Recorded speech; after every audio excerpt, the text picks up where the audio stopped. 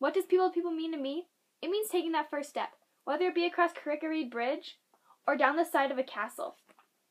It means going places you would have never thought you could have gone before, such as Northern Ireland, the Giant's Causeway, Big Ben, and the Gap of Dunloe. It means trying new things, such as food, like haggis and fish and chips, or learning how to play a new sport, such as Gaelic football. It means having fun, dressing up and taking a group picture with Nessie, and signing the peace wall in Belfast.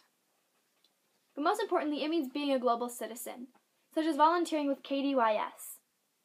But these are just some of the reasons that I love being a student ambassador.